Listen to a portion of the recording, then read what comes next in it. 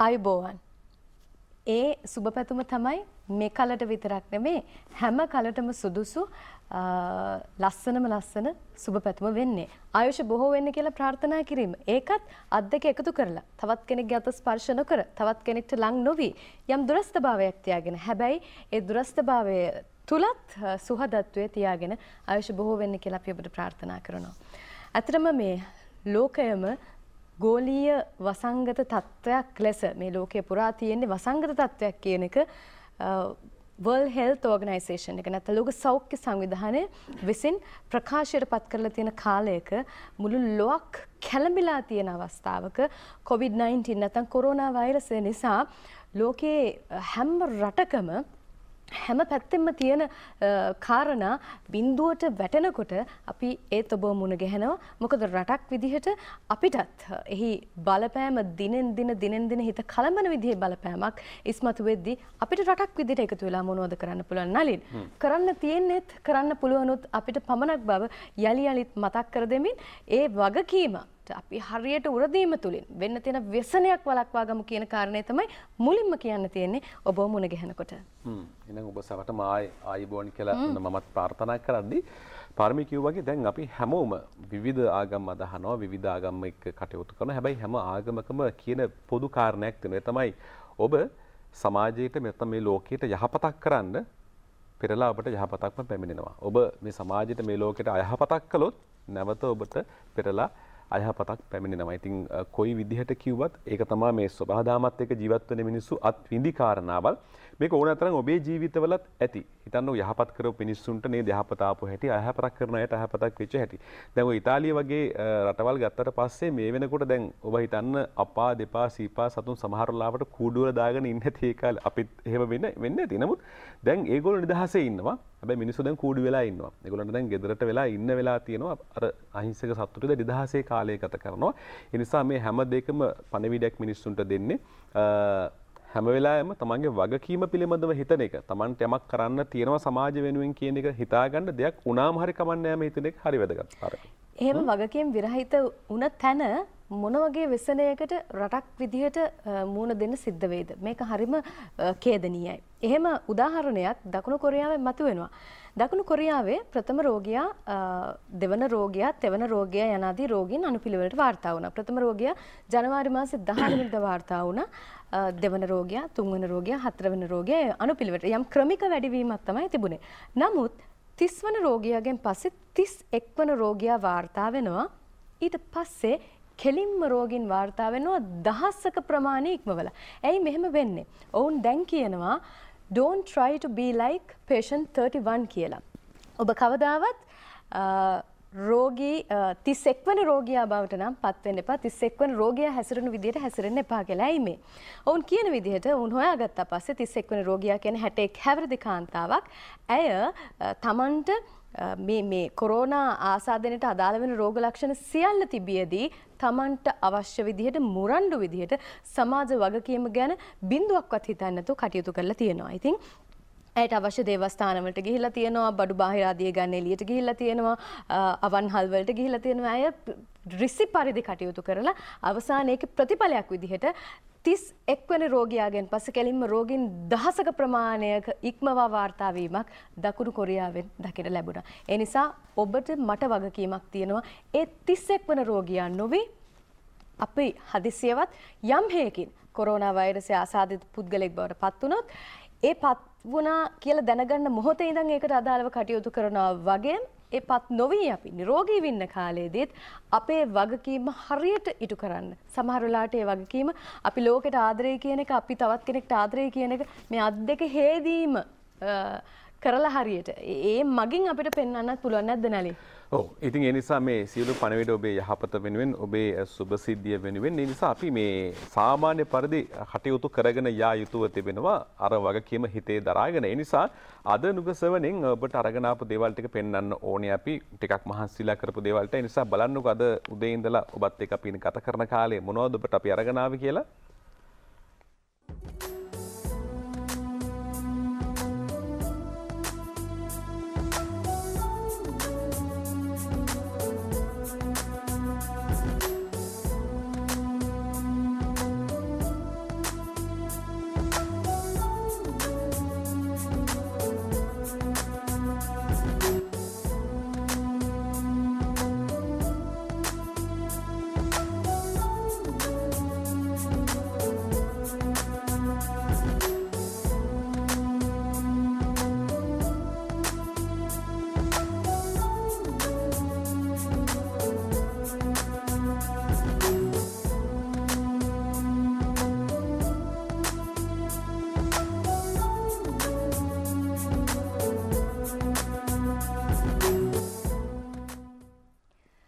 තියෙන හැම සම්පතම හැම වටිනා වස්තුවම හැම ආදර බැඳීමක්ම තියෙන්නේ මේ ශ්‍රී ලංකාව කියන මේ අපේ පුංචි මව්බිම මත ඒ තුල. ඉතින් කොරෝනා ආසාදිතයන් සංඛ්‍යාව දිනෙන් දින වාර්තා වෙනකොට මේ සංඛ්‍යාව අතරට විවිධ පැතිවල මිනිසුන් එක්කාසු වෙනකොට යම් තැතිගැන්මක් තියෙනවා. හැබැයි තැතිගැන්ම පැත්තකට තියලා බිය වෙන එක පැත්තකට තියලා අපි අපේ සමාජ වගකීම ඉටු කරමු එවෙනුවෙන් බැඳෙමු. මොකද මේ රට කියන්නේ අපිට පුණ්‍ය භූමියක් අපි ඉපදිලා හැදිලා වැඩිලා මිය යන තැන. එවෙනුවෙන් අපිට යම් වගකීමක් ඉටු කරන්න යම් තැනක අවස්ථාවක් ලැබෙනවාද? ඒ අවස්ථාව උපරිම වශයෙන් ප්‍රයෝජනයට ගමු. අපේ ප්‍රාර්ථනය මේ රටට අපේ මව් රටට මේ රටේ මිනිසුන්ට කිසිදු විපතක් සිදු නොවේවා යන්නයි.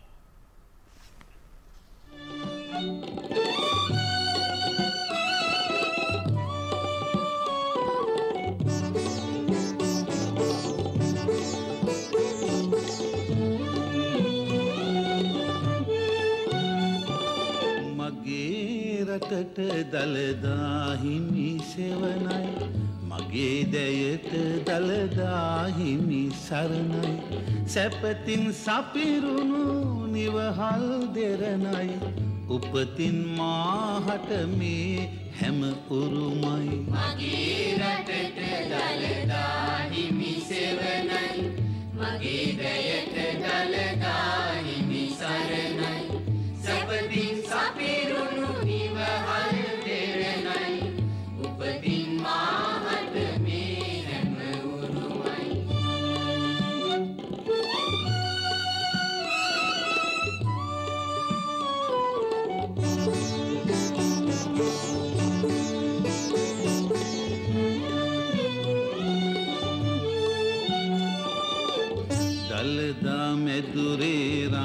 රන් කොත මුදුනේ මිනිකිරණින් මුළු රටම අවදිවේ. දළදා මැදුරේ රන් කොත මුදුනේ මිනිකිරණින් මුළු රටම අවදිවේ. දෙදහස් වසරක මහරු අතීතය සීහතේජසින් යළි පිබිදේ. දෙදහස් වසරක මහරු අතීතය සීහතේජසින් යළි පිබිදේ.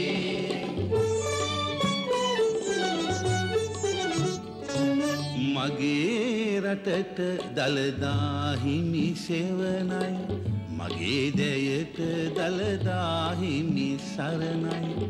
සැපතින් සපිරුණු නිවහල් දෙරනයි උපතින් මාහට මේ හැම උරුමයි. මගේ රටට දළදාහිමි සෙවනයි මගේ දැයට දළදාහිමි සරණයි. සැපතින් සපිරුණු නිවහල් දෙරනයි උපතින්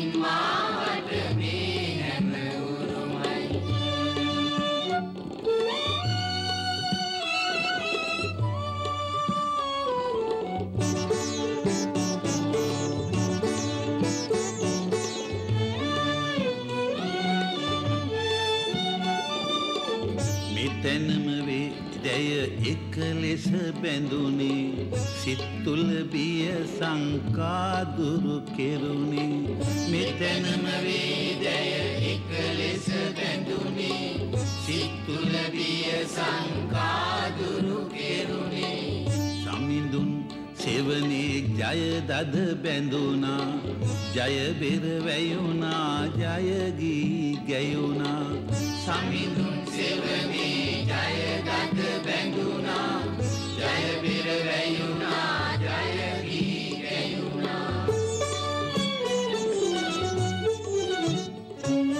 මගේ රටට දළදාහිමි සෙවනයි මගේ දැයට දළදාහිමි සරණයි සැපතින් සපිරුණු නිවහල් දෙරනයි උපතින් මාහට මේ හැම උරුමයි. මගේ රටට දළදා හිමි සෙවනයි මගේ රැයට දළදා හිමි සරණයි සැපතින්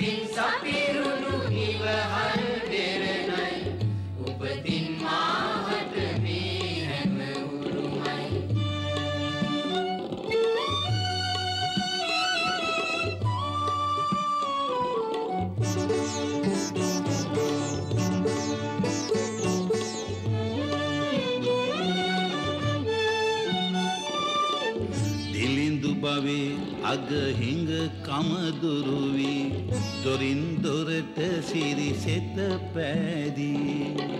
දිලිඳු පවේ අග හිඟ කමදුරුවී දොරින් දොරට සිරිසෙත පෑදී. ගමරට නැගුමට ශක්තිය දෙමු අපි සිරිදලදාහිමි වරම ලැබී. ගමරට නැගුමට ශක්තිය දෙමු අපි සිරිදලදා හිමි වරම ලැබී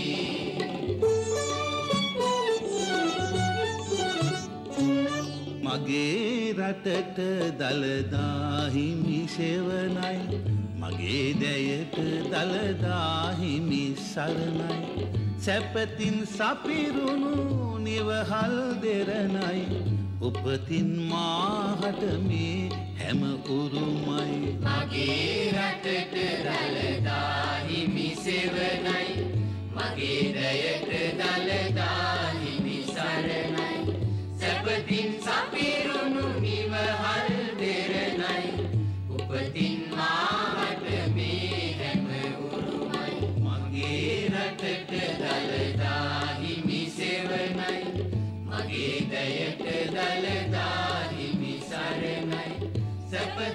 සැපතින් සපිරුණු නිවහල් දෙරණයි සැපතින් සපිරුණු නිවහල් දෙරන උපතින් අපි ලබපු මේ ආදරණීය දිවයින සුවපත් වේවා යන හැඟීමයි ඔබට මට අපි හැමතෙම තියෙන්නේ. ඒ සුවපත් වීම හෝ ඉතුරු අන්තය ඒ ගිනි දා අලු කරන්නත් පුළුවන් නැත්තම් සිසිල් දියෙන් ඒ සුවපත් කරන්නත් පුළුවන් එහි වගකීම ඔබට මට පැවරී තිබෙන බව යලි යලිත් මතක් කරන්නේ ඔබ හිතනවා නම් මේ මව්බිම වෙනුවෙන් මා යම් යුතුයකමක් ඉටු කරන්න ඕනේ කියලා ඔබ හිතලා තියෙනවා නම් ජීවිතේ කවදා හරි ඔන්න ඔබට ක්‍රියාත්මක වීමට මේ දින කිහිපයම ප්‍රමාණවත්. ඒ නිසා ඔබේ වගකීම මගේ වගකීම ඉටු කරන තැන අපේ වගකීම් ඉටු වෙනවා. එතනදී අපි මේ කතා කරන පුණ්‍ය භූමිය අපේ ආදරණීය දිවයින සුරක්ෂිතයි. ඒ වෙනුවෙන් අපි කටයුතු කරමු. ස්වභාව ධර්මයෙන් මේට සුරක්ෂිතභාවයක් ලබා දීලා තියෙනවා හතර වටෙන්ම තියෙන මොහොත. ඉතින් අපිට පුළුවන් යුතුයකම ඉටු කරලා අපි මේ වෙසන తත්වය පාලනය කරගෙන මැඩගෙන ඉන්න පුළුවන් ක්‍රමවේදයක් ලංකාව ඇතුළේ ගොඩනගමු. නලී. එහෙම කියද මේ ලංකාව වටේම මුහුණ තිබ්බත් අපි කියන්නේ පාරමී මේක ලෝකෙම තනි ආයක් කියලා මේ විශ්ව ගම්මානත් එක්ක එකිනෙක සම්බන්ධ වෙලා තියෙනවා. ඒ නිසාම තමයි ලෝකේ තැනක පටන් ගත්ත මේ වසංකත ලංකාවටත් ආවේ. මොකද ඒ තරම් ඉක්මනට මේක පැතිරලා පැතිරලා යනවා. මොකද ලෝකේ හැම කෙනෙක්ම එකිනෙකා සම්බන්ධ වෙලා වැඩ කරන කාලයක්. එහෙම වුණත් අවසානයේ අපට මතක් වෙනවා අර අත්තාහි අත්තනෝ නාතෝ කියන කියමන නේද? තමා හිසට තමා තමයි සෙවණැල්ල. ලෝකේ කොයිතරම් සම්බන්ධකම් තිබුණත් මොන හරි දෙයක් වුණාට පස්සේ තමන්ට තමයි ඒකේ පිහිට වෙන ආරක්ෂා වෙන විදිහ වගකීම පැවරෙන්නේ. රටක් වුණාට පස්සේ අපි රැකබලාගත යුතු පිරිසක් ඉන්නවා. එක පැත්තකින් තමන්ට වඩා වයස අඩු අපේ පුංචි කුඩා දරුවන්. අනික් පැත්තෙන් අපේ වැඩිහිටියන්. ඒ වගකීම වැඩිපුර දැනෙන්නේ රටේ තරුණ කණ්ඩායමට. එහෙම නැත්නම් තරුණයන්ට, යෞවනයන්ට තමයි වැඩිහිටියෝ බලා ගැනීමත් එහෙම නැත්නම් දරුවෝ ටික බලා ගැනීමේ වගකීම පැවරෙන්නේ. හැබැයි මේක අඩු වැඩි වශයෙන් ලෝකේ සිද්ධ වෙනවා. මොකද සමහර අය වැඩිහිටියෝ අමතක කරලම දානවා. සමහර අය බොහොම ආදරෙන් රැක බලා ගන්නවා. ඒ නිසා නීති ප්‍රකාරවත් යම් යම් දේවල් මේකට සම්බන්ධ වෙලා තියෙනවා. ඉතින් අපි හිතුවා මේ වසංගත කාලයක් ඇතුළත වැඩිහිටියෝ ගැන කතා කරනවා, පුංචි දරුවන් පිළිබඳව කතා කරනවා. වැඩිහිටියොත් එක්ක සම්බන්ධ මේ නීති රීති පිළිබඳවත් විශේෂයෙන්ම නිරෝධායන කාලයක් තියෙන හින්දා මේ හා සම්බන්ධ නීති පිළිබඳවත් කතා කරන්න. පරමේ ඔව් ඒ සඳහා අපි අපේ හිතවත් තිස්සර චාමර නීතිඥතුමාට එන්න කිව්වේ. ඉතින් ඔහු අපේ ආරාධනය පිළිගෙන අපේ මැදිරියට පැමිණ සිටිනවා. ආයුබෝවන් කියලා බෝ පිළිගන්නවා. ආයුබෝවන්. දැන් කතා කරන්නේ කොහෙන්ද කොතනින්ද පටන් ගන්න කියලාත් අර අපිට අපේ සිතිවිලි එක තැනකට අරගෙන ගොනු කරගන්න බැරි කාලෙක ඉන්නේ. ඇතරම අපි මේ COVID-19 මේ කොරෝනා වෛරසය ගැනම කතා කරන නිසා අපි එතනින්ම ආරම්භයක් ගමු වැඩිහිටියන් ගැනත් කතා කරමු. දැන් හැම විටම අපි යම් නීති කාරණයක් ඔස්සේ කතා කරද්දී නීතිඥතුමනි අපිට තියෙන සමාජ වගකීම ගැන කතා කරනවා. මේ මේ වෛරස් කතන්දර එන්නත් කලින් ඉඳන් අපි හැමදාම කිව්වා හැම කාරණයකටම අදාළව බැඳිච්ච සමාජ වගකීමක් තියෙනවා කියලා. ඒ වගකීම ඉටු කරන තැන තමයි අපි පුරවැසියන් බවට පත් වෙන්නේ ඕනම රටක. ඒ නිසා මේ වගේ අවස්ථාවක වුණත් ඒ වගකීමට හරියට උර දෙන්න ඒක මට අදාළ නෑනේ කියලා ඉන්නේ නැතුව අදාළ කරගැනීම කොයිතරම් වටිනවද? එතනින් අපි කතාවට අවතීර්ණ වෙනවා. ඔව් අපි දන්නවා රටක ජීවත් වෙනකොට ව්‍යාපාරයක් කරනකොට හරි නැත්නම් පුද්ගලයෙක් හැටියට රාජ්‍ය ආයතනයක හෝ පුද්ගලික ආයතනයක වැඩ කරනකොට මිනිසාගේ පරම යුතුයකම මිනිසාට සේවය කිරීම කියන බුදුන් වහන්සේගේ දර්ශනය තමයි අපි හැම කෙනෙක්ම පිහිටුවා කටයුතු කරන්නේ. අපි දන්නවා ව්‍යාපාර ලෝකයේ දියුණු වෙනකොට ව්‍යාපාරත් සමාජ වගකීම් පැත්තට නැඹුරු වෙන අවස්ථා තියෙනවා. ඒ වගේම වෘත්තීය මට්ටමින් ගායකයෝ නනුලිනියෝ ඒ අය සමාජ වගකීමක් ඉටු කරන අවස්ථා තියෙනවා. රටක ජීවත් වෙන පුරවැසියන්ට අර ව්‍යාපාරිකයන් සහ නළුනිලියන්ට ගායක ගායකයන්ට වෘත්තීය පුද්ගලයන්ට අමතරව හැම පුද්ගලයෙක්ම රටක ජීවත් වෙන පුද්ගලයෙක් නම් ඔවුන් වෙත විශාල සමාජ වගකීමක් තියෙනවා. තමන්ට වැළඳුණු කිසියම් වූ රෝගයක් වේද, තමන් සතු යම් කිසි තොරතුරක් වේද, තමන් සතු දන්නා යම් කිසි මොනහරි දැනුම සම්භාරයක් තියෙනවද? ඒකෙන් රටට සමාජයට අඩුම වශයෙන් තම ඉපදුණු මේ මාතෘ භූමියට සේවය කිරීමේ පරම පූජනීය වගකීම තියෙනවා. ඒ නිසා මේ මොහොතේ අපේ මාතෘකාව යම් ආකාරයක අපි වැඩි දියුණු කරමින් ඔබ මේ රටේ පුරවැසියෙක් නම් ඔබ මේ රටට ආදරය කරන තැනැත්තෙක් නම් ඔබ මේ රටේ භූමියෙන් උපන් පුද්ගලයෙක් නම් ඔබගේ පරම යුතුයකම අඩුම වශයෙන් අපි වෙනත් බාහිර සේවාවක් නොකලත් අපෙන් සමාජයට විය යුතු අවැඩවත් අපි වලක්වා ගැනීමේ පරම යුතුකම අපට තියෙනවා. හරි දැන් එහෙම කියන්නත් අපට හේතුවක් තියෙන මොකද පහුගිය දින කිහිපය තුළ රටේ පුරවැසියන් විච්ච ඇතම් පුද්ගලයන්ගෙන් විච්ච සමහර වැරදි කාරණා හින්දා නීති රීති ගෙනල්ලා මේ යුතුයකම පෙන්නලා දෙන්න යුතුයකම මතක් කරන්න සිද්ධ වුණා. නීතිඥතුමනි දැන් විශේෂම නිරෝධායන කාලයක අපේ රට තිබෙන්නේ. යම්කිසි කණ්ඩායමක් හුදකලාව තියලා ඒගොල්ලන්ව දැන් නිරෝධායනය කරන මේ රෝගය පැතිරෙන එක වළක්වන්නට. අනික් පැත්තෙන් නිදහස් ඉන්න පිරිසක් ඉන්නවා. එයාටත් යම් වගකීමක් ලබා දීලා තියෙනවා. මේ නිරෝධායන නීතිය පිළිබඳ පොඩ්ඩක් අපි ඉතිහාසය මතක් කළා. මෙහෙම නීතියක් ගෙන ආවේ ඇයි කියන කාරණත් එක්කම පොඩ්ඩක් අපි කතා කරමුද? විශේෂයෙන් අපි දන්න නිරෝධායන නීතිය ලංකාවේ ක්‍රියාත්මක වුණේ 1897 ඉංග්‍රීසි ජාතීන් මෙරට පාලනය කරන කාලේ.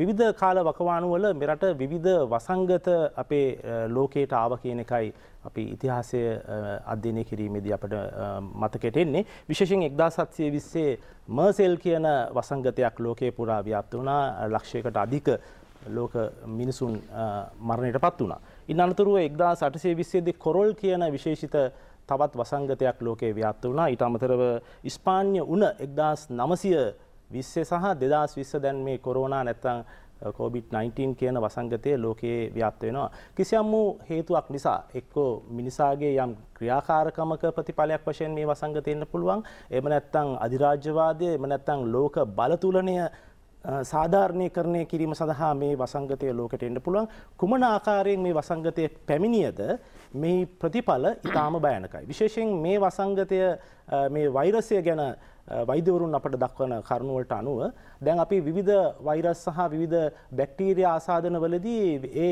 රැගෙන යන විවිධ පුද්ගලයන් ඉන්නවා. ඇතැම් විට මදුරුවා වෙන්න පුළුවන්, ඇතැම් විට වෙන සතෙක් වෙන්න පුළුවන්, මේ වුණ වෙනත් සත්වයෙක්ගෙන් වෙන්න පුළුවන්. නමුත් මේ වෛරසය සමාජයට රටට පුද්ගලයන් නිසා රැගෙන යන්නේ මේ බුද්ධිමත් මනං උස්සති ඉති මනුස්සා කියන්නේ මේ මිනිස්යා කියන පුද්ගලයා විසින් තමයි මේ සමාජයට අරගෙන එන්නේ. ඔවුන් රටක ජීවත් වෙනකොට ඔවුන්ගේ අයිතිවාසිකම් තිබෙනවා. නමුත් ඔවුන්ගේ අයිතිවාසිකම් අභිබවා මිනිසුන්ට සමාජයට ඔහුගෙන් විය යුතු වගකීම සහ ඔහුගෙන් නොවිය යුතු අවැඩ පිළිබඳ විශාල වගකීමක් තියෙනවා. ඒ සලකා බලපු ඉංග්‍රීසි ආණ්ඩුව 1897 දී රෝග නිරෝධායනය වැළැක්වීමේ ආඥාපනතයක ඉංග්‍රීසි ආණ්ඩුව නිසා ආඥාපනතක් ස්ථාපනය කරා. විශේෂයෙන් ඒ කාලේ ව්‍යාප්ත වුණු මේ වසංගත වැළැක්වීම සඳහා. ඒ ආඥාපනතර විවිධ වගන්ති සංශෝධනය වෙමින් අද වර්තමානයේ අවුරුදු 100 ගාණක් ගියත් මේ ආඥාපනත තාමත් අපේ රටේ ක්‍රියාත්මකයි.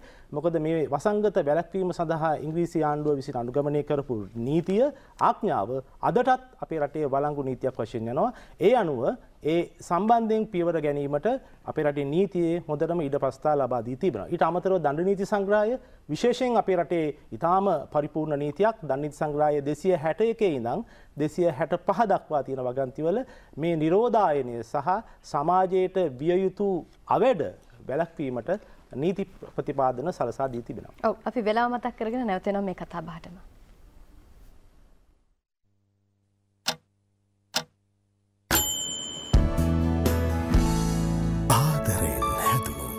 Crescent. දැන් නිරෝධායනය පිළිබඳව කතා කළා. ගොඩක් අය තුල මතයක් තියෙනවා, හැඟීමක් තියෙනවා මේ නිරෝධායනය කියන්නේ හරියම භයංකාර, හරියට නිකන් පෝරකයට ගෙනින දෙයක් වගේ ක්‍රියාවලියක් කියලා. හැබැයි අපි පහුගිය දවස්වලත් සමාජ වගකීම් ඉටු කර දෙන රාජ්‍ය මාධ්‍ය විදිහට ජාතික රූපවාහිනිය ජාතික වගකීම් පෙරදරි කරගෙන අපි මේ පිළිබඳ විවිධ මාන ඔස්සේ කතා කරා. ඒක එහෙම දෙයක් නෙවෙයි. ඔබ හිතනවා වගේ භයානක දෙයක් නෙවෙයි. නිරෝධායනය කියන්නේ ඔබව යම් කිසි විදියකට හුදකලා කරලා දවස් 14ක් තියෙන එක ඒ කෑම් බීම් සියලු දේ සපයමින් ඔබට නිදහසේ පාඩුව ඉන්න තියෙන කාලය මේ. හැබැයි මේකටවත් එකඟ නොවි මේ හරි තේරුම දන්නේ නැතුව හුඟක් දෙනෙක් කලබල වුණා නිරෝධායනයට එන්න බෑ කිව්වා. ඒ විතරක් නෙවෙයි බැනලා කරලා එතන ලොකු කාලගෝට්ටියක් ඇති කරා. ඒ වගේම වැරදි ප්‍රචාර එළියට යවුවා. මේ නිරෝධායනය කියන්නේ ඇසිඩ් වලින් නාවනවා කියලා කිව්වා. යනාදී නොයෙක් නොයෙක් දේවල්. දැන් මෙහෙම කෙනෙක් ප්‍රතික්ෂේප කරනවා නම් නිරෝධායනයට එන්න බෑ කියලා පිට රටකින් ඉඳන් ආපු කෙනෙක් නැත්නම් රෝගේ තියෙනවා කියලා වාර්තා වෙච්ච කෙනෙක් ප්‍රතිකාර ලබා ගන්න බෑ කියලා ඊට විරුද්ධව කොහොමද නීතිය අනිත් සියලු දෙනා වෙනුවෙන් පෙනී හිටින්නේ? මොනවද ඔවුන්ට ලබා දෙන දඩුවම් ඔව් ඒ සම්බන්ධ අපි අර මුලින් කියපු නිරෝධායන ආඥාපාලනයේ ප්‍රතිපාදනට අමතරව දණ්ඩ නීති සංග්‍රහය 264 විශේෂයෙන් ඒ වගන්තිය පැහැදිලිවම සඳහන් කරලා තියෙනවා ජීවිතයට අන්තරාය වූ රෝගය බෝවීම පැතිරවිය හැකි ද්වේෂ සහගත ක්‍රියා. එවැනි ක්‍රියාවක් සම්බන්ධයෙන් කිසියම් වූ පුරවැසියෙක් රටේ එව විට පවත්වාගෙන යන ක්‍රියාදාමයට එරෙහිව ඔහුගේ අයිතිවාසිකම වූ භුක්ති විඳින්න උත්සාහ කරනවා නම් නිරෝධායන වැඩසටහනක් ක්‍රියාත්මක වෙනකොට ඌ ඒකෙන් මිදී පලායන් උත්සාහ කරනවා නම්. එම නැත්තම් නිරෝධායන මධ්‍යස්ථානයකට ඔහු ඇතුළත් කිරීමෙන් පසු එම ස්ථානින් නැවත ඔහු පලා යනවා නම් මේ 264 වගන්තිය ප්‍රකාර උට වසර දෙකක සිරදඬුවම් ලබා දීමේ හැකියාව අපේ රටේ නීතිය තියෙනවා. ඊට අමතරව 263 වගන්තිය යටතේ බැලුවොත් මාස 6ක සිරදඬුවම් පවා උන්ට ලබා දීමේ හැකියාව තියෙනවා. විශේෂයෙන් මේ දණ්ඩනයේදී බලාපොරොත්තු වෙන්නේ දැන් රටක ජීවත් වෙනකොට මිලියන 2.2ක ජනගහනයක් වාසය කරන විටක යම්කිසි වෛරස් ආසාදනයකින් පෙළෙන පුද්ගලයෙක් ඔහු සමාජයේ අනිත් පුද්ගලයන් සමග නිරාවරණය වීම ඔහු සමග ගැවසීම මේ රෝග විෂ බීජයේ නැත්නම් රෝග වෛරසය ඔවුන් වෙත ආසාදනය කිරීම වගේ හේතුන් රටක ජනජීවිතයට අසාමාන්‍ය ලෙස බලපානවා. අපි දැන් මේ මොහොතේ අපි දකිනවා ජාතික රූපවාහිනිය හරහා වැඩසටහනේදී අපි මේ නිරෝධායන වැඩසටහනේදී යුද හමුදාව, සෞඛ්‍ය දෙපාර්තමේන්තුව, ඒ වගේම මහජන සෞඛ්‍ය නිලධාරීන්, ඒ වගේම විවිධ මාධ්‍ය ආයතනවල පුද්ගලයන් මේ සියල්ලම ඒකරාශී වෙලා තියෙන්නේ මේ වෛරසයෙන් අපේ රටේ ජනජීවිතය ආරක්ෂා කරන්න. අපට මේ වෛරසය ගමන් කරන ආකාරය ගැන විශ්වාසයක් තබන්නට බෑ. මොකද අපිට ස්වභාවිකව අර අපි මුලින් කිව්වාගේ අපේ රටට දලදා පිහිට කියන ඒ කාරණාවේදී අවුව උෂ්ණය ගොඩක් අපිට අධිකව ලැබෙන රටක්. එනිසා අපිට නිරන්තරයෙන්ම ස්වභාව ධර්මයේ ආරක්ෂාව අපිට තියෙනවා. අර පාරමී කිව්වා වගේ මේක කුඩා දිවයිනක් වශයෙන් අපි මහමුදෙන් වට වෙලා තියෙනවා. ඒ ආරක්ෂාවත් අපිට තියෙනවා. නමුත් අපේ අත්නෝමතික ඇතැම් පුද්ගලයන්ගේ වැරදි ක්‍රියා එහෙම නැත්නම් ගැළපෙන්නේ නැති ක්‍රියා හේතුවෙන් මේ වෛරසය සමාජගත වීම සිදු වුණොත් ඒ තුලින් සිද්ධ වෙන්න පුළුවන් ව්‍යසනය හානිය ජීවිත හානිය අධික විය හැකි කියන පණිවිඩය වෛද්‍යවරුන් අපට ලබා දෙනවා නම් ඒ පණිවිඩය ක්‍රියාත්මක කිරීමේ මේ රටේ සියලුම පුරවැසියන් ඔබට වගකීමක් තිබෙනවා. නලින් මතකද? පොඩි දෙයක් මතක් කරමින් ඔය පැත්තට එන්නම්. ඊයේ ප්‍රවෘත්ති විකාශයේදී පවා අපිට දැනගන්න ලැබුණා. ගල්කිස ප්‍රදේශයේ මැනික් ව්‍යාපාරිකයෙක්. ඔහු තමන්ට මේ රෝග ලක්ෂණ සියල්ල තිබියදී තමන්ට කොරෝනා වෛරසය ආසාදනය වී ඇති බව තේරුම් යද්දී පවා ඊට නිසි පිළියම් යොදා නොගනිමින් කොටිම කිව්වොත් රෝහලකට ඇතුළත් නොවමින් අපි කෙන කට්ටි පැනලා ඉඳලා තත්ත්වය භයානක කරගත්තා. ඊට පස්සේ ඊට විරුද්ධව නෛතික ක්‍රියාමාර්ග ඊයේ දිනේදීම ගැනීමට නියමිත බව ප්‍රකාශයට පත් වුණා. ඉතින් මේ වගේ වෙලාවකුයි නීති රීතිත් ක්‍රියාත්මක කර කර ඉන්න අනිත් සෙසු පිරිසටත් ඉඩක් නොතියා ඔබේ වගකීම මගේ වගකීම අපි ඉටු කරමු ඒක තමයි අපි නිරන්තරයෙන් මතක් කරන්න. නලින්. ඔව්. එහෙම කියද්දි දැන් අපි හැමෝටම අර වගේ සමාජ වගකීමක් පවර්ලා තියෙනවනේ යම් කිසි පුද්ගලයෙක් විදේශගත වෙලා ලංකාවට වෙලා දින 14ක කාලය නම් ගත කරන්නේ කැමැත්තෙන් එයා ඉදිරිපත් වෙන්නේ නැත්නම් මේ සිස්ටම් එක නැත්නම් මේ පද්ධතියට තමන්ගේ නම ගම දාලා තමන්ව පරීක්ෂාවට ලක් වෙන්න ඔබට පුළුවන් ඒ සම්බන්ධව තොරතුරක් කියන්න. ඒක සමහර ලාවට මහජන සෞඛ්‍ය පරීක්ෂකවරයාට වෙන්න පුළුවන් MOH කාර්යාලයට වෙන්න පුළුවන්. ඒවා කියන්න. ඒක අනිත් අය අමාරුවේ දැමීමක් නෙමෙයි. හැබැයි හිතාමතා අය අපහසුතාවයට පත් කරන බොරු තොරතුරු දෙන්න එපා. ඇත්ත දේවල් කියන. එතකොට මේ සිස්ටම් එක ඇතුලේ මේගොල්ලන්ව යම් යම්කිසි විදිහකට පරීක්ෂාවට ලක් කරලා කරන්න පුළුවන්. හැබැයි මේක තවදුරටත් තමන් ඉදිරිපත් නොවී මේ දේ කරනවා නම් නැත්නම් මේක නොකර ඉන්න නොකර හරිනවා නම් ඒ අයට දෙන්න පුළුවන් දඬුවම මොකද නීතිඥතුමනි? ඔව් ඒ ඒ සම්බන්ධතාව අපි මුලින් කිව්වාගේ දඬු නීති සංග්‍රහයේ පැහැදිලිවම 264 වගන්තියේදී සඳහන් කරනවා නිරෝධායන වැඩසටහනක් ක්‍රියාත්මක වන අවස්ථාවකදී එම නිරෝධායන වැඩසටහනින් ඒ පුරවැසියන් ඉවත් යන අවස්ථාවකදී සැඟව යන අවස්ථාවකදී නොකර හැරීම් සිදු කරන වෙලාවකදී ඒ වගන්තිය ප්‍රකාර ඔවුන් අත්අඩංගුටගෙන ළඟම තිබෙන මයිස්ත්‍රාත් අධිකරණය ඉදිරිපත් කිරීමේ හැකියාව තිබෙනවා. අපි ඊයේ අපි දුටුවේ නියෝජ්‍ය පොලිස්පතිතුමා ඒ මයිස්ත්‍රාත් අධිකරණයට ඒ කරුණු වාර්තා කරනවා. ඉන් අනතුරුව ඒ වෙලාවේදී ඒ සැකකරු විත්තිකරු අධිකරණයට ඉදිරිපත් කරන්නේ නැහැ. මොකද ඔව් ඒ වෙනකොට නැවත නිරෝධායනයට රැගෙන ගිය අවස්ථාවක නිරෝධායන වැඩසටහනින් පසු ඔහුව නැවතත් අධිකරණයට ඉදිරිපත් කරන බවට ඉදිරිපත් කරමින් ඒ සම්බන්ධ බී වාර්තාවකින් අධිකරණයට කරුණු දක්වන්න පුළුවන්. එවැනි වෙලාවක ඔහු කරපු එම ක්‍රියාව සම්බන්ධයෙන් දණ්ඩ නීති සංග්‍රහයේ 264 වගන්තිය යටතේ උට මාස 6ක සිර දඬුවමක් ලබා දීමේ හැකියාව තියෙනවා. ඒ දණ්ඩනය උට ලබා දෙන්නේ ඔහු විසින්නේ නොකර හැරීම ඔහු විසින් අර කිව් විදියට පැහැර හැරීම එම නැත්තං ඔහු පිටමං වීම එම නැත්තං ඔහු සැඟව යාම තුලින් මහජනයාට වෙච්ච හානිය ජනතාවට ඒ වෛරසය ව්‍යාප්ත වීම නිසා ඇතිවෙච්ච ඒ ව්‍යසනය අති මහත්. ඔබ හිතමු යම්කිසි තැනැත්තෙක් මේ වෛරසය ආසාදනය වෙලා ඔහු විශාල සෙනගක් සිටින ක්‍රීඩා තරගයක් නරඹන්නට ගිය අවස්ථාවකදී සිදු වුණා නම් ඒ ක්‍රීඩා තරගය නරඹන්නට ආපු සියලුම නරඹන්නන්ට ඇතැම් විට මීටරේ මීටරේ ඔහු සාකච්ඡා කරන කතා කරන සංවාදය දෙන හැම වෙලාවකම මේ වෛරසේ ව්‍යාප්ත වීම හරහා අවසානයේ එම පුද්ගලයන් නැවත ඔවුන්ගේ පවුල් වෙත ඔවුන්ගේ වැඩ කරන ආයතන වෙත ඔවුන්ගේ ගම්බම් ගම්බිම් බලා පිටත්ව යන වෙලාවකදී මේ ව්‍යාප්තිය අපට හිතාගන්නට බැරි තරමට ගොඩක් ඈතකට යන අවස්ථාවක් ලෙසයි දකින්නට හම්බෙන්නේ. මට පුංචි මතක් වෙනවා දැන් ඔය කියන වැඩේ තම පුද්ගලයාට ඒ පුද්ගලයාම වකින් පැහැර හැරිය අවස්ථාවක්. හැබැයි මේ අය සංගව ගන්න මේ අය රඳව ගන්න අනිත් අය උදව් කරන සමාජයට බිරිඳ වෙන්න පුළුවන් නෑ. දාව යාළු වෙන්න පුළුවන්. මෙයාටත් නීතිය ක්‍රියාත්මක වෙනවද? ඔව් පැහැදිලිවම දැන් එවැනි අවස්ථාවකදී රටක පුරවැසියෙකුට මෙවැනි ව්‍යසනයකදී තොරතුරු ලබා දීමේ හැකියාව තියෙනවා. රජය ඒ සම්බන්ධයෙන් විශේෂ අවධානයක් යොමු කරන විශේෂ දුරකථන අංක ගණනාවක් පෞද්ගලික දිනවල මාධ්‍ය හරහා ජනතාවට දැනුම් දුන්නා. අර පොඩි අවස්ථාවක් දෙන්න නීතිඥතුමනි. සෞඛ්‍ය ප්‍රවර්ධන කාර්යාංශය දුරකථන අංකය මතක් කරනවට 071යි 010යි 71යි 07 සුවසැරි ඔන්ලයින් සේවය නැත්නම් මාර්ගගත සේවය පැය 24ේම ක්‍රියාත්මක බව ඔබට මතක් කළා. වසංගත රෝගාංශය 011269යි පනස් එකයි දොළහ. බිඳුවයි එකයි එකයි දෙසේ හැට නවය පනස් එකයි දොළහ. නිරෝධායනංශය බිඳුවයි එකයි එකයි දෙසි එකොළහයි විසි හතයි බිඳුවයි පහ. බිඳුව එක එකයි දෙසි එකොළහයි විසි හතයි බිඳුවයි පහ. ආපදා කළමනා කරනංශය බිඳුවයි එකයි එකයි තුන්සි හතයි දහයයි හැත්තතුන. නැවත මතා කරන්නම් බිඳුව එක එකයි තුන්සිය හතයි දහයයි හැත්තතුන. ඕකට විශේෂෙන් අපි දැන් මේ රජයක් මේ ආකාරයෙන් මහන්සි වෙන්නේ මේ වෛරසය සමාජගත වීම වැළැක්වීම. අපට හිතාගන්නට බැරි විදියට මේක ව්‍යාප්ත වෙන්න පුළුවන්. දැන් අපි හොඳ උදාහරණේ චීනයේ රාජ්‍ය අනුගමනය කරපු ක්‍රියාදාමයේ මුළු පාරවල් සියල්ලම වැහුවා, ආයතන සියල්ලම කොන්ක්‍රීට් දමා ඇතැම් අවස්ථාවලදී වැහුවා. ඒ ස්ථානවලට ලැබෙන සියලුම මේ වෛරසය ආසාදනය වෙච්ච පුද්ගලයන් දසදහස් ගණන් 84000 හා 90000 දක්වා වර්ධනය වුණා. ඒ සියලුම පුද්ගලයන් යම්කිසි ස්ථානයක නිරෝධායන වැඩසටහනකට දායක කරලා වෛද්‍යවරුන් තමගේ ජීවිත පරිත්‍යාගයෙන් ඒ අයගේ ජීවිත රැක ගැනීමට කටයුතු කරා.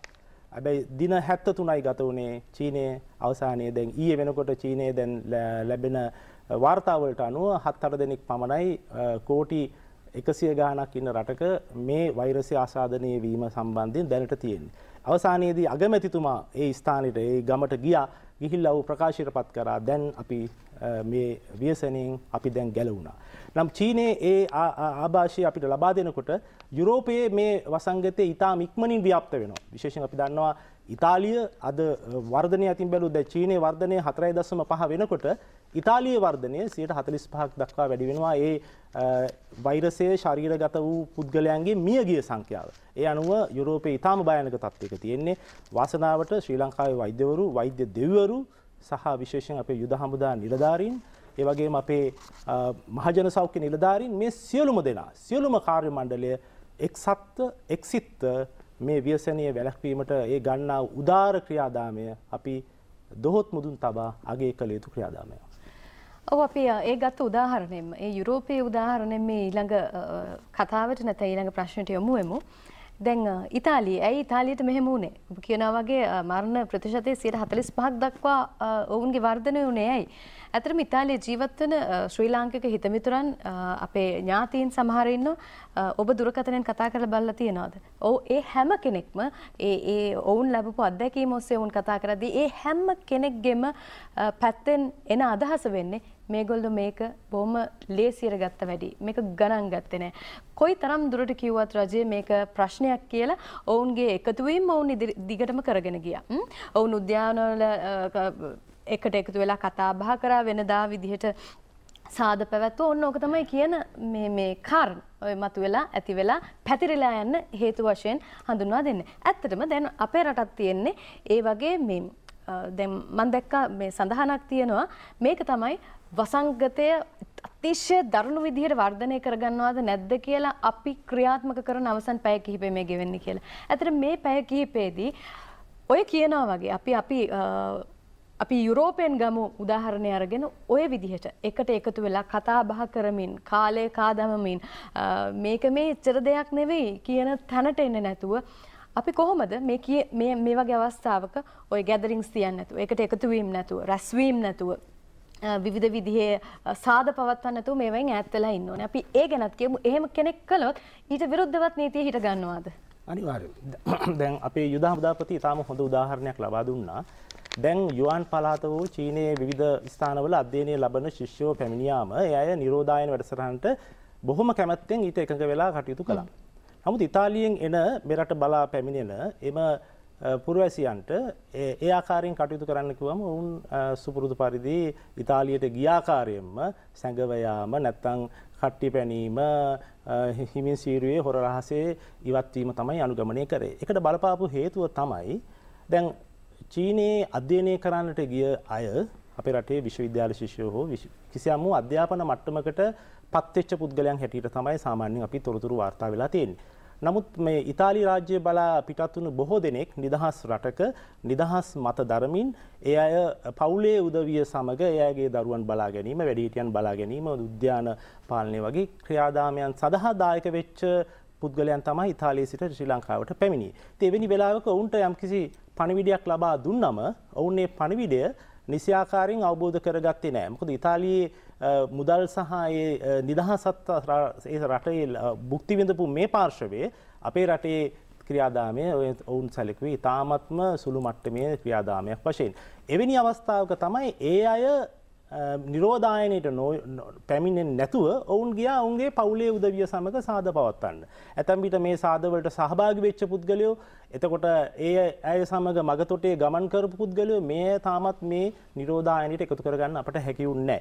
මේ වන විටත් මේ මොහොත වන විටත් ඔවුන් මේ වෛරසය සමාජගත කිරීමේ ක්‍රියාදාමය ඔවුන්ට නොදැනිව ක්‍රියාත්මක වෙන්න ඉඩකඩ තියෙන අවස්ථාවක් වෙන්න පුළුවන්. ඒ නිසා තමයි රජය විශේෂයෙන් ප්‍රකාශ කරේ මාර්තු පළවෙනිදා සිට මාර්තු 15 දක්වා මෙරට පැමිණි සියලුම පුරවැසියන් වහාම ඔවුන් සිටින පොලිස් ස්ථානයේ ලියාපදිංචි වීම කියන අදහස ඉදිරිපත් කරේ. ඒ ලියාපදිංචි වීම වැදගත්. මොකද මේ 28 දෙනාගෙන් 15 දෙනෙකුට වැඩි සංඛ්‍යාවක් ඉන්නේ ඉතාලිය සිට මෙරටට පැමිණි ඒ පුරවැසියන් හා ඔවුන් එක්ක බද්ධ වෙච්ච සම්බන්ධ වෙච්ච පුද්ගලයන් හැටියටයි වාර්තා වෙලා තියෙන්නේ. එවැනි අවස්ථාවකදී ඔබට තොරතුරක් තිබේ නම් ඔබ මෙරටේ පුරවැසියෙක් නම් මහජනතාව වෙනුවෙන් මේ රටේ මිලියන දෙකකට අධික ජනගහනයේ ආරක්ෂාව වෙනුවෙන් ඔබ ඉදිරියට පැමිණෙන්න ඕනේ. ඒ පණිවිඩය අර ළඟම තියෙන පොලිස් ස්ථානයට ඔබට දැනුම් දෙන්න පුළුවන්. එමගින් ඔබ කරන්නේ රටට ජාතියකට සමාජයකට මේ ව්‍යසනකාර මොහොත අපි එකින් ගැලවී මේ රටට නැවතත් අර කියන පුණ්‍ය භූමියේ වටිනාකම නැවත ලබා ගැනීම සඳහායි. හරි දැන් අප මේ උදෑසන සාකච්ඡා මේ විදිහට අරගෙන යද්දී ඔබ දන්නවා දැන් අපි මේ නලින් මෙහෙම කරමුද? ආදරයක සහන් ගන්න බෑ කියන බොරුවට. හරි අපි මෙහෙම කරමු. අපි වෙලාව මතක් කරගෙන අනුග්‍රහක හිතවතුන්ත් මතක් කරගෙන එන්න ඕනේ. ඒ සඳහාත් අපි වෙලාව යොදා ගමු. ඊට අනතුරුව අපි ආවෙන් පස්සෙත් මේ කතාව ඉස්සරහට ගෙනමු. මොකද අහන්නත් කාරණා කිහිපයක් තවම අප සතුව ඉතිරිව තියෙන නිසා. ඒ විතරක් නෙවෙයි නවලේ පත්‍රය මතක් කරන්නත් ඕනේ. හැමදේටම කලින් අපි ගන්නවා කෙටි විරාමයක්. ලින්නකළු කලා මහාජන හිස පැළඳූ කිරුණයි අටසිය වසක් පුරා ජාතියක් විශ්වාසය තැබූ ලොතරැයි නොවේ කිරුණ මහජන සම්පත දැන් සඳුදාදිනේත් මහජන සම්පත රටටම සම්පත. බෙල්වා එක ලංකාවේ එක අපීම එක. නැවතත් අපේ කතා බහට. නවලියේ පත්තරේ අමතක කරන්න බෑ අපිට. මොකද නවලිය පුවත්පත අපේ අඟහරුවාදා නුගසෙවණත් එක්ක බැඳිලා පවතින පුවත්පත විශේෂයෙන්ම දැන් මේ ඔබ දකින්නේ මුල් පිටුව 10 වෙනි පිටුව වෙන් වෙන්නේ අපේ මේ කතා බහට. නීති ප්‍රකාරව කොහොමද අපි දිවිගවන්න ඕන නීතිය කොහොමද අපිට උදව් වෙන්නේ කියලා. දැන් වැඩිහිටියන් පිළිබඳව නීතිය තමයි මේ 10 වෙනි පිටේ මේ වතාවේ දකින්න තියෙන්නේ. මේක ඉතින් සකසන්නේ මේවා සියල්ලම සූදානම් කරගන්නේ සතියකට වගේ පෙර නිසා ඔන්න ඔය තත්ත්වය ওই විදිහට තිබුණට අද අපි කතා කරනවා මේ කොරෝනා ආසාදනය හා සම්බන්ධයෙන් කොහොමද නීතිය ක්‍රියාත්මක කරන්නේ මේකෙන් හැංගිලා ගැලවිලා ඉන්න හදන ආසාදිතයන්ට විරුද්ධව ඒ වගේම මේක හරියට ක්‍රියාත්මක නොකරන පිරිසට එරෙහිව කියන කාරණේ. මොකද ඇත්තටම මේ සැලසුම් කරන එක අපි ජීවිතය කෙලෙ හිතුවට හැබැයි ජීවිතය කියන්නේ සැලසුමෙන් පිට සිද්ධ වෙන සියල්ලට. ඒ නිසා සැලසුමෙන් පිට සිද්ධ වෙන දේවල් වලට සූදානමින් ඉඳීම තමයි අපි මේ නෛතික හමුව ඔස්සේත් ඔබට මතක් කර දෙන්නේ. නලින් ඔබ සුවෙන් නම් කතා කළ හැකි දැන්. සුවෙන්. හරි. දැන් අපි ගොඩක් වෙලාට වැඩිහිටියන් සම්බන්ධ කරගත යුතු හින්දා නීතික් නොමන දැන් මේ වෙලාවෙත් ගොඩක් අවුරුදු හැට හැත්තෑ වගේ වයස්වලන්න කයතම ගොඩක් මේ ආපදාවට ලක්ුණ නිසා මිය ගිය පිරිස අතට එකතුන අපි කියන්නේ එක මේ සිද්ධ වෙනවා කියන එක නෙවෙයි නමුත් ලෝකේ උදාහරණ සහ සිද්ධ වෙච්ච දේවල් එක්ක ගත්තාම වයස අඩු සහ ගොඩක් කියන ලදරු වයසේ ඉන්න නිසා වයස වැඩි අය මේ කාරණාට පත් වුණා. මං හිතන අද වෙනකොට විශේෂයෙන් අපි හැමෝම මේ වැඩිහිටියන් පිළිබඳව හිතන්න වෙලා තියෙන ලෝකයේ මං හිතන එන්න එන්න මේ වැඩිහිටි ජනගහනයත් වැඩි වෙලා තියෙනවා. තරුණයන් විදිහට නැත්තම් මේ මැදි වයස්වල ඉන්න පුදවිය විදිහට මං හිතන්නේ ලොකු වගකීමක් දරන්න ඕන කාලයක් මේ නේද වැඩිහිටියන් සම්බන්ධ තියෙන වගකීම අපේ. ඔව් අපි දන්නවා ලෝක ජනගහනය දෙස බලන කල වැඩිහිටි ජනගහනය ක්‍රමක්‍රමයෙන් ඉහළ යන ස්වභාවයක් අපිට දකින්නට හම්බෙනවා. මේ වන විට ලෝක ජනගහනයෙන් අටයි දසම පහක් සම්පූර්ණයම වැඩිහිටි ජනගානයක් වශයෙන් වාර්තා වෙන්නේ මිලියන වශයෙන් බැලුවොත් මිලියන හයිසිය දා හතයි. දෙදස් පණහේ ලෝක ජනගහන සංවිධානය කියන සංඛ්‍යාලේඛනවලට අනුව ආසන්න වශයෙන් මිලිය බිලියන එකයි දසම හයක් ලෝක ජනගහනයෙන් වැඩිහිටියෝ බවට පත්වෙනවා. එතට මේ අය වැඩිහිටියෝ බවට පත්වෙන්නේ ඔවුන්ගේ ආයු කාලයේදී අවුරුදු හැට පහ දක්වා ඒ ගෙවුණු කාලයේදී ඔවුන් රටක් වෙනුවෙන් ජාතියක් වෙනුවෙන් තම පවුල් සංස්ථාව වෙනුවෙන් සමාජයක් වෙනුවෙන් තම ශක්තිය උපරිමය දායාද කර පුද්ගලයන් හැටියට තමයි වැඩිහිටියන් අපි සලකන්නේ. අපි බෞද්ධ දර්ශනයෙන් පෝෂණය වෙච්ච රටක් හැටියට අපි වැඩිහිටියන්ට සැලකීම නිරන්තරයෙන්ම අපේ ඇස් ඇට මිදුළු වල ලේ නහරවල් වල ගමන් කරන අවස්ථාවක්. ඒ සඳහා නීතියක් අපිට ස්ථාපනය කිරීමේ අවශ්‍යතාවයක් නැහැ. නමුත් කෙසේ වෙතත් ඇතැම් දරුවන් තම මව්පියන් වැඩිහිටියන් නඩත්තු නොකිරීම කියන මත නීතියේ ප්‍රතිපාදනයක් වශයෙන් තමයි 2000 අංක 9 දරන Uh, protection of right of elders uh, වැඩිහිටියන් ආරක්ෂා කිරීමේ අයිතිවාසිකම් සම්බන්ධයෙන් පනත ස්ථාපනය කර තිබුණේ. විශේෂෙන් රජයක ප්‍රධාන වගකීමක් වුණා. මේ වැඩිහිටියන් වැඩිවීම සහ වැඩිහිටියන්ට සැලකීම පිළිබඳ කිසියම් වූ නැවත පරිලෝකනයකට නැවතත් සිතා බැලීමකට අවශ්‍යතාවය මතුවුණු නිසා තමයි වැඩිහිටි ජනගානය ඇති වුණේ. අපි දන්නවා වැඩිහිටියන් වැඩි වෙනකොට ලෝකයේ වැඩිහිටි බහන්ඩ පිළිබඳ තියෙන ඉල්ලුම. එතකොට වැඩිහිටි නිවාසද යුරෝපයේ පාරමී අපිත් එක මේ වැඩසටහනට පෙර කතා කරපුවම යුරෝපයේ වැඩි ආයතන ස්ථාපනය කරලා තියෙනවා වැඩිහිටියන්ට මුදල් ගෙවා ඒ සේවාව ලබා ගැනීමට. එතකොට ඒ මුදල් ගෙවීම අය කරපුවාම ඒ සේවාව ඒ අයට ජීවිත කාලයේ අවසානය වෙනකම්ම ලබා ගන්න පුළුවන්.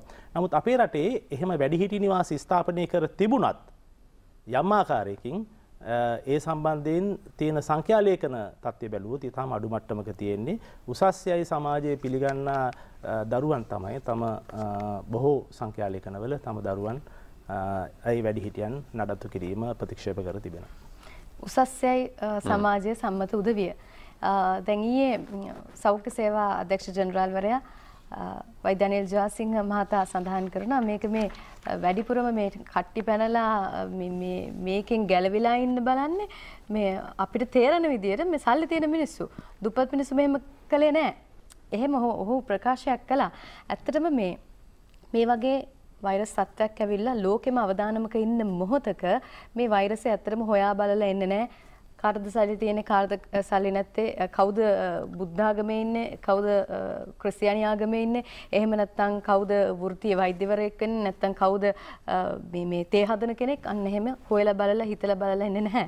ඒ නිසා මේ සියල්ලම සම මට්ටමකට ගේන කෙනා තමයි කොරෝනා වෛරසය කියන්නේ. නිසා අපි මේ ගැන සවිඥානික වෙලා මේ ගැන වැඩිපුර හිතලා අපේ වගකීම ඉටු කර දෙන්න අපි බැඳමු. ඒ තමයි යලි යලිත් මතක් කරන්නේ. මොකද සමහර දේවල් ලෝකයට ආවයින් පස්සේ මේ මේ වගේ වෛරස් කතන්දරයක් ආවයින් පස්සේ හිතෙනවා සල්ලි කියන්නේ මොනවද කියලා. නේද නලි? අපි කියනවා money is nothing මේ වගේ අවස්ථාවක ඒ හැම දෙම යටයි මේ වගේ කාරණයකට. ඒ නිසා ලෝකයේ මහා බ්‍රිතාන්‍ය ඇමරිකා එක්සත් ජනපදය වගේ ප්‍රබල රටවල් පවා මේ ආසාධනය හමුවේ බිඳවැටලා ඉන්නකොට මොකද්ද කරන්න ඊළඟට කියලා හිතාගන්න බැරුව ඉන්නකොට අපේ වගේ පුංචි රටක් ගැන කවර කතාද ඒ නිසා එහෙම කතාවකට යන්න නොදී අපි රැකගමු මොකද අපිට පුළුවන් මේ සහයෝගීතාවය තුළ අපේ ඔලු වෙනස් කිරීම තුළ මේකට යම් නිසි පියවරක් යොදන්න. ඒ තමයි අපි මේ මුළු කතාව තුළින්ම මතු කරන්න උත්සාහ කරන්නේ. ඕකේ ඕකේ තව අනික් පැත්ත තමයි පාරමේ. ගොඩක් අයට අමතක කරනවා මේක මේ වසංගතයක් මිසක සාගතයක් නෙවෙයි කියන කාරණය නිසා සාගතයක් නෙවෙයි මේ වසංගතයක්. අපි දැන් සූදානම් විතිය යුත්තේ මේ වසංගතයෙන් රට බේරා ගැනීමට. මොකද මම ඒ කියන්න හේතුව මිනිස්සු ආහාර ද්‍රව්‍ය පහ එකතු කරගත්තනේ අද උදේ වෙනකොට සතොස් ආයතනය පවන්ව නිකුත් කරගෙන ඔබට අවශ්‍ය කරන ආහාර ද්‍රව්‍ය තියෙනවා රට ඇතුලේ. සහල් ලුණු සීනි මේ හැමදේම තියෙන ඉදිරි කාලවලට. නිසා ඒක එකතු කරලා මේ වසංගතයෙන් බේරෙන්න බෑ ඔබට. වසංගතයෙන් බේරෙන්න නම් අපි හැමෝටම සමාජ වගකීමක් කරන මේ වෙලාවේ හැසිරිය යුතු ආකාරයක් තියෙනවා. නීතිඥතුම ඉතාම කෙටියෙන් අපි කියමුද මේ අයට මේ මේ කාරණය පිළිබඳ සමස්ත පුරවැසියන් සිතයුතු ආකාරය ඉතාම කෙටියෙන්. ඔහු දැන් මේ රජය දින තුනක් නිවාඩුව ප්‍රකාශයට පත් කළේ ඔබට ඔබගේ පවුලේ අය සහ නෑහිත මිතුරන් සමග සතුටු සාමිචයේ යෙදීම සඳහා නෙමෙයි. එහෙම නැත්නම් අපිට ගෙවුණු මාස කිහිපේ යන්න බැරි වෙච්ච සංචාර සඳහා එහෙම නැත්නම් විනෝද ගමන් සඳහා කට්ටිය ඒක රාශිය කර ගැනීම සඳහා නෙමෙයි. ඔබ හොඳටම දන්න කාරණාවක් තමයි මේ වෛරසය ව්‍යාප්ත කරන්නේ වෙන කිසිම සත්වයක් නෙමෙයි. මේ අර බුද්ධිමත් මිනිසයා විසින් මේ වෛරසය අපිට ඇසට පේන්නේ නැහැ. කිසිම කෙනෙකුට දැනෙන්නේ නැහැ. මේක දැනෙන්න අඩුම වශයෙන් දවස් 10ක කාලයක්වත් ගත වෙනවා. දැන් නිරෝධායනය කියන එකෙන් අපි බලාපොරොත්තු වෙන්නේ ඔබට හෝ අසල්වැසියාට මෙය ශරීරගත වුණාද නැද්ද කියන එක පිළිබඳ යම් නිගමනයකට එළඹෙන්න.